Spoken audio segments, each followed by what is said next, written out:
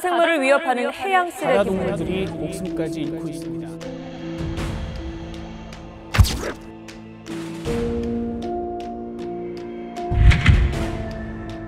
등갑이 깨져 있었고요. 그 다음에 상완골에 뼈가 드러나 있고 그 근육이 다 손상이 돼 있었고요. 이제 목 주변이 다 찢어져 있는데 그 와중에 이제 식도까지 완전히 노출될 정도로 찢어져 있었죠.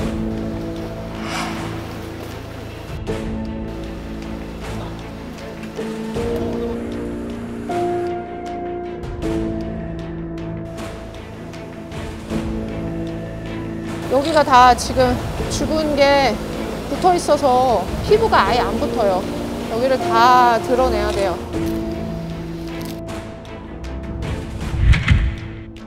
수술을 한 번 더 해야 되는데 일단 이 거북이 마취를 보는 것 자체가 한 사람이 전담해서 해줘야 되는 상황이고 수술도 조금 더 저보다 노련하신 선생님을 제가 불렀기 때문에 조금 더 빨리빨리 진행될 수 있을 것 같아서 네.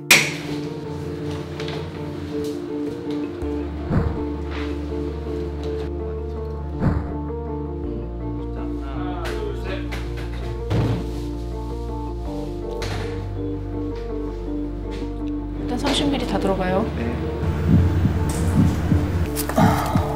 옳지, 옳지. 됐어요.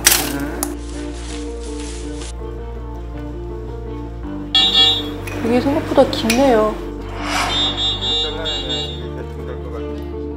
그 전에는 어깨 수술을 하진 않았고 드레싱으로 다 해결이 될 줄 알았는데 끝까지 안 닿던 부분이 많이 깊게 썩어 들어갔던 것 같아요.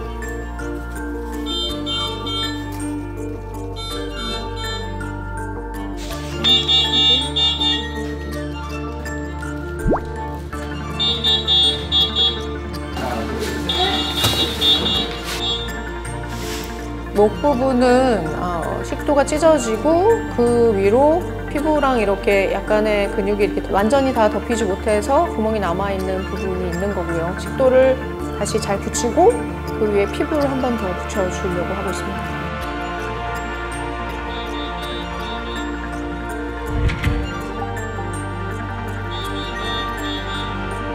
컷. 됐어요.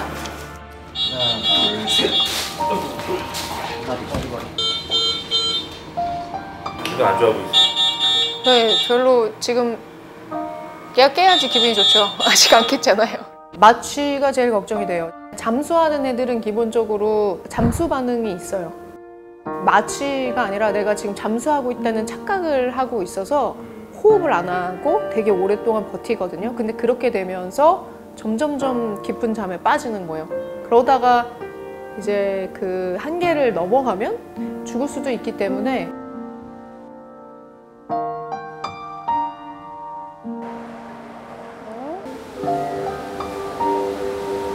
혈액순환이 좀 되면 더 빨리 마취하게 빠져서요. 지금 얘가 대사가 이렇게 고개를 들고 하는 호흡을 한번 하면 안심할 것 같아요.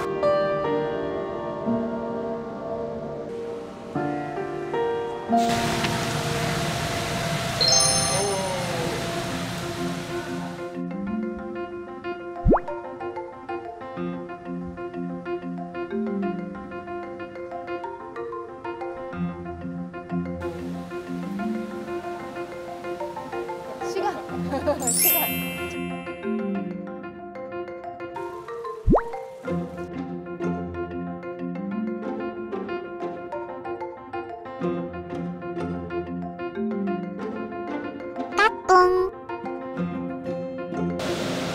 다행이네.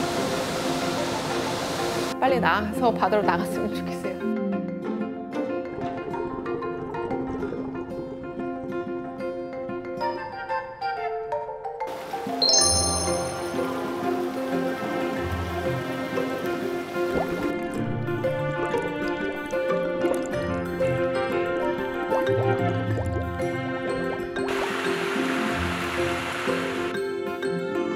조금이라도 도움이 된다면 그만큼 제 에너지를 쓸 수 있으면 좋겠네요. 그게 제가 행복한 길인 것 같아요.